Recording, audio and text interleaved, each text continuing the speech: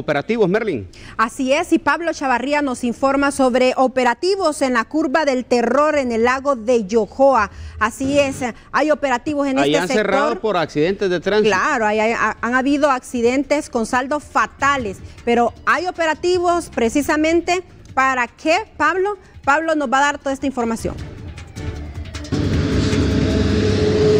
Gracias compañeros en estudios, así es, me encuentro a las orillas del lago de Yoho, exactamente a la altura de la curva del terror, donde varios jóvenes han perdido la vida en los famosos piques o carreritas de moto.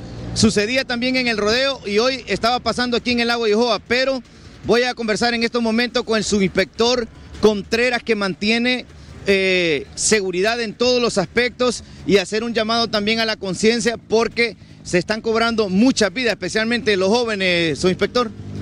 Así es, Pablo, hacemos un llamado a la conciencia, a los padres de familia, ya que últimamente las dos personas que han fallecido en la carretera son menores de edad. Hacemos un llamado a los padres que no les cedan vehículos a menores de edad, eh, ya que recordemos que la carretera es una carretera internacional donde pasan cualquier cantidad de vehículos a diario, de equipo pesado y vehículos en común.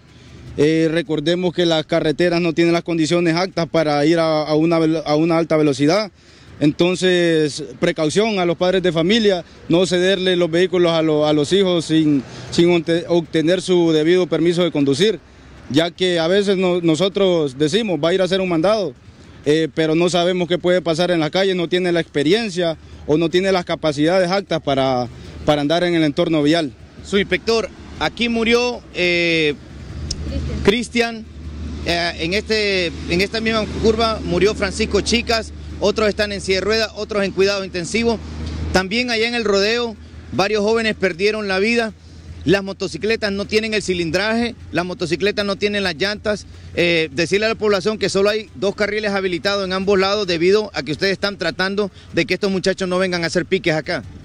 Así es, Pablo. Eh, eh, le informamos a la población en general que va a circular por el, lo que es a la altura del lago de Ojoa. Tenemos un dispositivo, un dispositivo ubicado eh, en el kilómetro 156. Solo tenemos habilitado un carril en ambos lados con el objetivo de prevenir y disuadir accidentes de tránsito.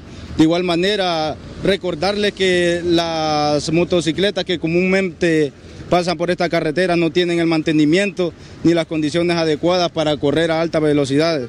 Bueno, muchas gracias, su inspector Contreras. Ya vieron ustedes, mantienen dispositivos de seguridad desde lo que es Carrizales hasta la recta de Yojoe. Usted va a ver varias patrullas en todos lados para tratando de evitar accidentes.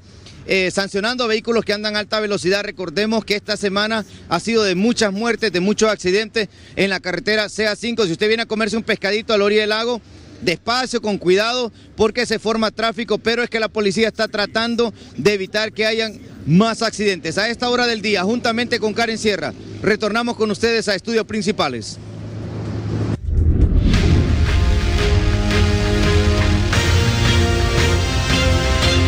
Corresponsales, periodistas,